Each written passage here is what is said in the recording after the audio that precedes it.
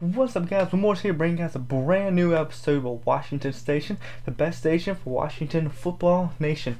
And as you can see, I am back home with the green screen, with the microphone audio, bringing you a better show than what was being at Liberty. Not anything wrong with that, but all was my background was my bunk bed, so so enjoy these two months of videos with green screen, not just Washington Station. I'll be getting back to doing music videos and other stuff that I'm working on. So um, hopefully I get a lot of stuff done in these next two months. It's gonna keep me very busy. Also with my seven classes I'm taking right now, also keep me very busy. So you know it's gonna be a busy couple months, but I'm excited for it. I didn't come home to be lazy. I came home to work from home. So anyway, let's get to it. I didn't make a video Monday because I was still getting settled in, um, getting back home and getting some stuff taken care of. So I didn't make a video. So this is gonna be a two-parter. One is gonna be a summary of the Bengals game. The second part is gonna be a preview of the Cowboys game. So, first part, we beat the Bengals. Let's go. We beat them very well. I enjoyed the game. If you're a Washington fan, I know you enjoyed the game. Was it 20 to 20 to 9, I think was the final score. Um, first and foremost, want to send out prayers to Joe Burrow. I know uh, he's going to be going through a lot of rehab and uh, uh, stuff for the next couple months. So let's just all send our thoughts and prayers for him. Uh, he's going to come back strong. He's going to ball out in the NFL and I'm fully fine saying that because we don't have to face him for another four years. So, but you know, good thing about that, I'm excited that um, excited, excited for his future. But I'm more excited that we won. We won. Um, we defense really came through at parts, especially at the end. They really came through. Offense was clicking. It took a while to get there, but once they got there, they were hitting strides. Terry McLaurin just proving that he is amazing. Cam Sims didn't have all the catches that he had in previous games, but he was still a key player this week.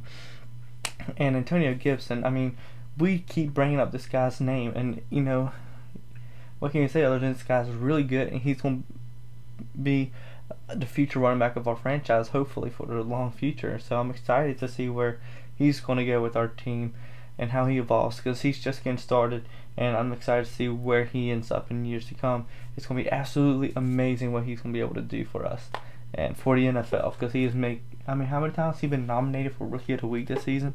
I mean, I think it's like a crap ton. So I'm super excited that he is back.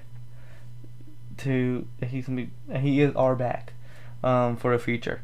Um, and Alex, comeback player of the year. It's confirmed. I know a lot of people want Ben Roethlisberger, but I think even them friend of mine who's a Steelers fan said Ben deserves it. And then once Alex came out, he's like, you know, you know, I would love for Ben to get it, but Alex deserves it. Alex deserves it hands down. He's come back from an impossible injury. He should never be playing again, and he's starting football games, possibly going to lead us into the playoffs. You know, it's absolutely crazy. Um, but he played really well Sunday. Had really good passes. Um, only took like one sack, one or two maybe played very good. I was super excited to see him out there just balling as usual. And it's just, man, it was a fun game to watch. It was hard to watch because I mean it was competitive, and once Joe Burrow went down, kind of picked up speeds, and it kind of makes you wonder what would have happened had um Joe not gone down, gone down. Um, I say I'm happy he went down, but you know, we need to get into the playoffs. Um, I'm not saying anything about Joe Burrow. I'm saying more as the two teams in general. It may have helped us. Anyway, so it was a good game, good fight. Uh, finally seeing Steven Sims get some touches because he's been kind of quiet since he came back. Get a couple catches and of course a touchdown from Alex, which was awesome. His first, um, was that his first touchdown back? Not his first one, but his first touchdown and his first win. I mean, and Alex got his first win in the uniform that he got hurt in two years ago. It's absolutely amazing. It makes you almost want to tear up out of happiness for the guy. I'm super excited that he's back, and um, it's just it's amazing watching him go out there and ball. And uh, so that's how that game went. It went really well. Uh, defense kind of was slow to start. Defensive line um, kind of had a slow start, but came through at the end. And um, here's another thing. You know, last week they were talking about crap, crap about Chase Young, and I said in my video, if you're thinking that he's a bust and you're not watching the film, and he missed that big hit on Joe Burrow when Joe Burrow ran it for a first down. So when Joe Burrow ran for a touchdown, Chase Young knocked the crap out of him. This was not the one where it hurt, so I'm okay. So it's okay for me to gloat about this hit. But he came and just absolutely rocked Joe Burrow. Oh, it was so fun, so much fun to watch. And um, then So yeah, 29, good game. Enjoyed watching it. Now let's talk about this week. This game is for the top of the division. Washington versus Dallas. The three and seven teams fight to four wins and fight for the division. It's sad. It's really sad, and it's also sad that the Ravens have COVID and now we don't have a primetime game on Thanksgiving. Oh, COVID, COVID, COVID, COVID. I hate you. I'm sure everyone else feels the same, so we all hate you. Go back. So anyway, this week, um, people saying we're going to upset the Cowboys. Last time I checked, we beat them a couple weeks ago. You didn't fact check me, but I'm I'm pretty sure we beat them. Wasn't like 27 to three or something like 25 to three. I mean, wasn't it wasn't it something like that? I mean, I, I, I don't. I, I mean, I don't know, but I I, th- I think that's what the case was. Last time I checked, that was the case.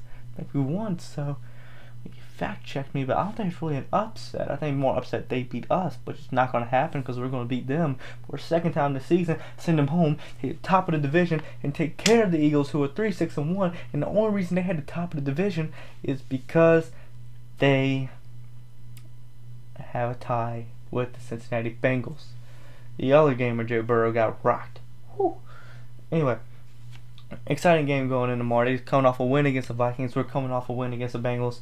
I don't think either team has changed any much, um, that much since last time we played. They got rid of a couple players. Uh, we've had a couple players come back. Uh, I think Alex is playing better than Kyle Allen was at the time. I think our defense is just the same as it was then. Um, and we beat them with that defense. And, you know, um, Andy Dalton is back, but, you know, we he was playing the last time he got concussed and knocked out the game. So I'm not really worried about him because we were handling them in that moment too. I don't think they're going to win this week. I know we're playing on their turf, but it's due for us to win. They've beaten us so many times for Thanksgiving. The last time we beat them was when we had RG3 back in 2012. I think it's overdue that we take care of them on Thanksgiving, and this just seems like the year where we're going to do it. So if you're not hyped for this game tomorrow, I don't know what to tell you. It's Dallas week. Beat Dallas. This is the most excited I've been for a Dallas game in a long time and it's just absolutely thrilling for um, hoping to see what the outcome's going to be. I'm so excited. Uh, I think Alex is going to ball out. I think Gibson's going to ball out. I think Terry's going to ball out. I really need Gibson and Terry because they're also on my fantasy team, and they've really been helping the past couple weeks, even with wins or loss. They've really been helping. So, yeah. So uh, hopefully they're going to be feasting on them Cowboys over in AT&T Stadium. It's gonna be a good game. It's gonna be a fun game. I think the game with Houston and um, Detroit tomorrow is also gonna be fun to watch at 12:30. So make sure you're watching that. It's gonna be a really fun game to sit around with the family with and watch. I'm so excited to watch this game. I think we're going to take care. I think Chase Young's really going to ball out. I think our whole defense is going to ball out, and our offense is just going to be hitting on cylinders. I love for Cam Sims and McLaurin to get a lot of touches tomorrow. And let's beat them like we did the first time. So, on that note, I hope you all have a great day. Make sure to stay safe to Thanksgiving. Uh, hope you have a great Thanksgiving. Eat all the turkey and food. Uh, that's prepared because you know turkey. Why not? Uh, don't let COVID get in the way of your Thanksgiving um, celebration unless you can't help it, and there's actually big reasons why. Um, go ahead and have a good time with family and friends. I know I will. So thank you all for watching today's video. Make sure to subscribe if you haven't already. Make sure to hit that like button if you enjoyed today's video. Make sure to comment down below your thoughts. Make sure you go and watch my show Washington Station because it's really good and I've got a lot more episodes coming forward and this is what the show looks like not in my bedroom at college so make I hope you have a great day I'm Will Morris and I'm out peace